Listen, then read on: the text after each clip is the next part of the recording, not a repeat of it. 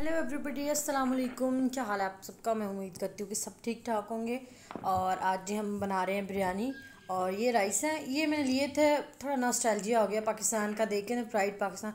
बहुत अच्छे राइस थे। ये मैं यूज़ करी बिरयानी के लिए। तो पहले सिंपली चावल बॉईल कर लेंगे। जैसे हम बॉईल करते होते हैं। थोड़ा सा हार्ड रखेंगे। लाइक नाइन्टी एट परसेंट मैंने इसको कुक कर लिया था। टू परसेंट मैंने दम के लिए छोड़ दिया था। मैंने खड़े मसाले इसलिए नहीं डाले क्योंकि मेरे हस्बैंड को अच्छे नहीं लगते, वो मुँह में आते हैं तो इसलिए वो मैं ना पीस के बिरयानी में डालूँगी। हमारे चावल जो हैं वो बॉयल हो चुके हैं, एक साइड पर रखते हैं। ये मेरे पास एक के जी चिकन है थोड़े थोड़े बड़े पीसेज हैं और साथ में मैं लूँगी चार प्याज हैं, दो बड़े साइज़ के हैं, दो मीडियम है तो वो एक जंबो साइज़ का टमाटर है और दो आलू है, मैं इसमें डालूँगी क्योंकि अच्छे अच्छे लगते हैं। लीमू है और हरी मिर्चें। सबसे पहले हम ले लेंगे एक कप ऑयल लेंगे।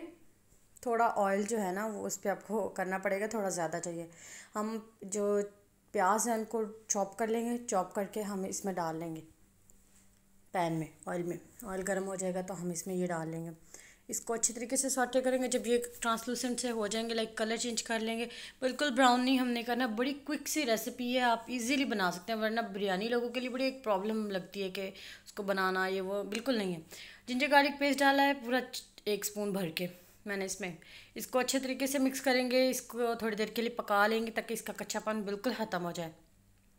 इसके बाद हम इसमें डाल देंगे चिकन अपना, ताकि चिकन साथ साथ फ्राई भी हो जाए, उसकी स्मेल भी ख़त्म हो जाए और कुक होना भी स्टार्ट हो जाए, उसको थोड़ा ज़्यादा टाइम मिल जाएगा। ठीक है, अब मैं इसमें डाल दूँगी चिकन मेरे पास आप, आपने जितनी मतलब बनानी है उसके अकॉर्डिंग आपको क्वांटिटी कर लेनी है। मैं सिंपल सा मेथड बता रही हूँ आप क्योंकि इस तरह से मैंने बनाई थी quick see and it was too delicious believe me आप बनाए और फिर मुझे आप इसका रिव्यू दीजिएगा कि कैसी बनी। ठीक है? पहले मुझे भी नहीं आती थी, मैंने भी अभी अभी सीखी है दो चार बार मैंने की हैं इसकी ट्राइज़ और फिर अब ये है कि बहुत अच्छी बनने लगी है। अब हम इसमें टमाटर ऐड कर देंगे और साथ ही हरी मिर्चें भी चॉप करके। ठीक है? इनको थोड़ी देर के लिए कुक करेंगे, टमाटर सॉफ्ट हो जाएँगे। ठीक है? और इसके बाद हम इसमें फिर ना सारे मसाले ऐड कर देंगे जो इसमें जाएँगे। बस ये कि इसका मसाला बहुत अच्छा सा होना चाहिए। ये देख लें, मसाले में नमक है, लाल मिर्च है, गरम मसाला है, ज़ीरा है, चिली फ्लेक्स हैं और हल्दी पाउडर है, ठीक है? क्वांटिटी जितनी हम नॉर्मली डालते हैं, आप क्वांटिटी के हिसाब से देख लें तो उसके हिसाब से जाएँगे, ठीक है? इसको अच्छे तरीके से मिक्स करेंगे हम और ये हम बेसिक स्पाइसेस डाल देंगे। इसके बाद मैंने इसमें शान का बिरयानी मसाला ये ऐड किया ठीक है?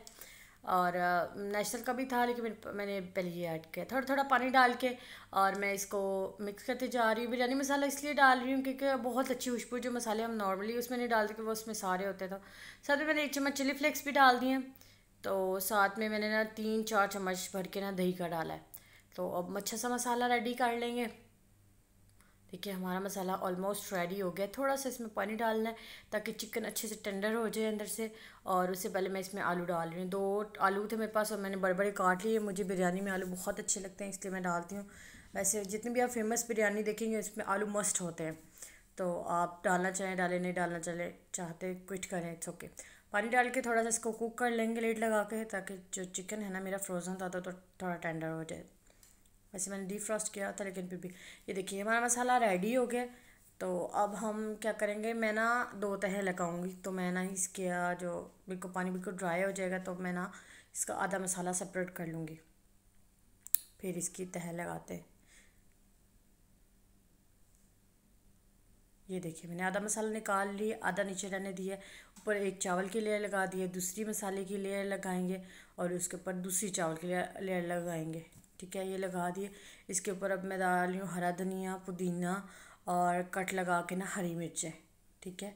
और कोई ब्राउन प्याज कुछ भी डालने की ज़रूरत नहीं है। मुझे इतने हाथ अच्छे नहीं लगते तो इसलिए मैं ज़्यादा डाल भी नहीं। लेमन के जो स्लाइसिस हैं वो डाल देंगे और इसके ऊपर ना मैं फ़ूड कलर डाल दूँगी। ऐसे स्प्रिंकल कर दूँगी थोड़ा थोड़ा ना सारे कहीं कुल दम वाली आँच रख के इसको तकरीबन दस पंद्रह मिनट के लिए दम देंगे। And it is totally and look at here it's really ready like दम दे दिए। अभी मैं आपको दिखाते हैं देखिए। कितना अच्छा अच्छे से इसको दम आ गया। अब इस काम करते हैं। चेक इट आउट इतनी अच्छी बिरयानी बनी है। आप भी बनाइएगा इंजॉय करिएगा। और मेरे चैनल को लाइक करें और सब्सक्राइब करना ना भूलिएगा। मुझे दुआओं में याद रखिएगा। फिर आऊँगी। अल्लाह हाफिज़। Take care